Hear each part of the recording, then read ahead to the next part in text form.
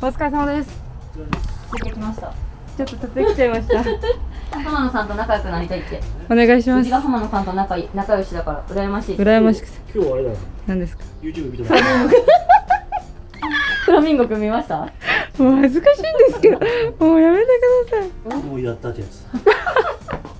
リアル。いめちゃくちゃリ浜野さんこういう人だから。アル本当にリアル。普通にやめろフラミンゴ君って呼んでるフラミンゴ君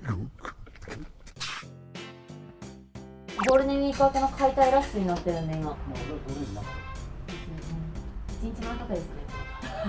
しかもめっちゃ天気良かったし雨で休みが入るっていう予定だったんですよねもともと。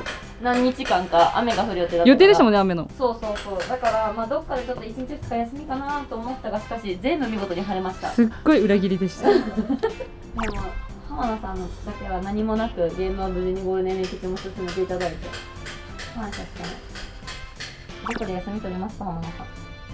この日曜日休みかデリカイ道場の YouTube をご覧の皆さんこんにちは。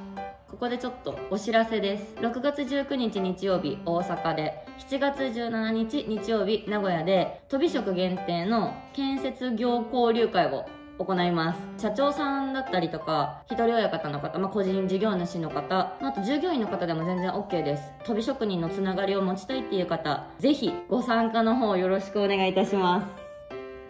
いやでも何がすごいって本当塗装の職人さんってこんだけの大きい面積塗るときはさ、はいはい。こうやって大きい塗料パン頼んで面積塗るからいっぱい量があってもいいわけじゃん。はい。例えば仮にだけど、はい。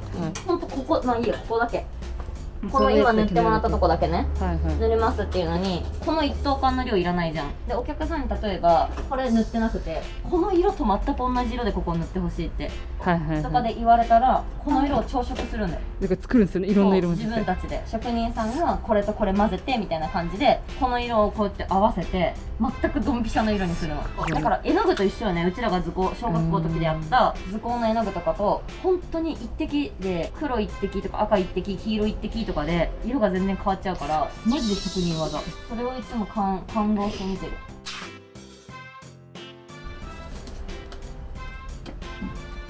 うちの初代ペコちゃんは浜野さんのところで出来上がったキャラクターだからね。なんかピンクののあれ着てましたよね初代最初はですね。一番最初ですよ本当に。浜野さんのところだからできた。初代ペコちゃん。撮影しに行くわし塗装女子になるっていう。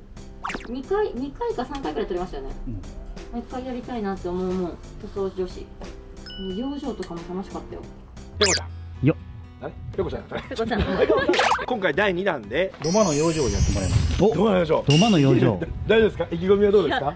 難しいと思ってます、はい、じゃあ早速やってみましょう、じゃあお願いします。お願いします。お願いしますあこれ浜野さんやっとるいつもこうやってテープ貼るところ。土 貼りにくくなっちゃうってことですか？これがのあるとテープがつかないうーん。てかやっぱりいいね。あの職人さんの気持ちがよくわかる。なんかこういうことやってんだっていうのが頭で考えてるだけじゃやっぱ簡単にどうしても考えちゃうじゃん。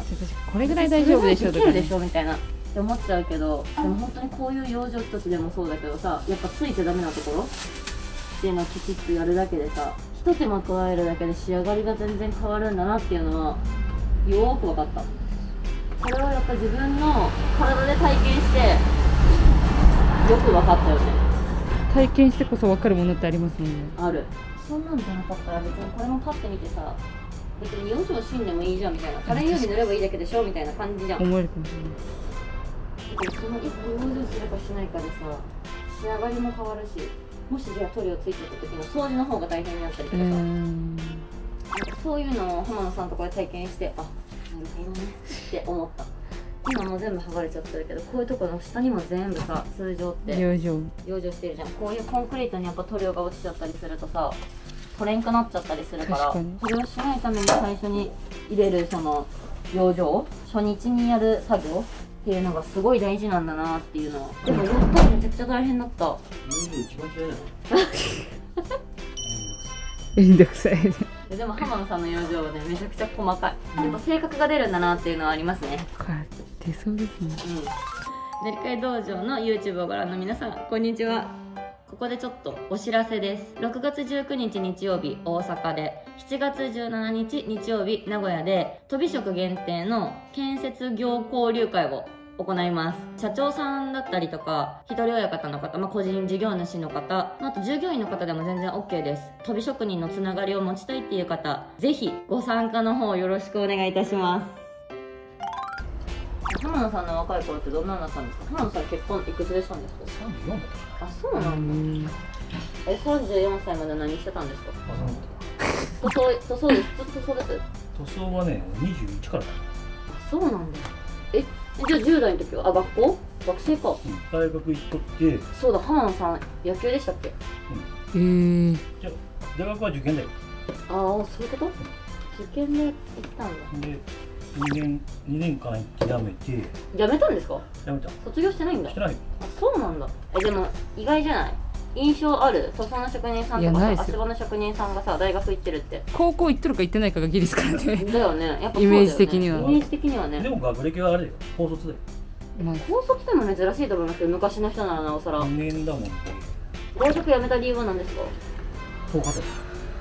遠かってもう理由が 理由がすごい。行くとこ考えよう。しかも2年頑張って通ったんですよね。ほとんど行ってないってあうん。ー大学ってそんなもんなんですか？いや2年生までに何台取らんとさうんうんうんうん。やらん俺がい一体も取ってない。やばいやばい。なんで言いなんで言ったって感じですよ 本当に。大学生の不良だ。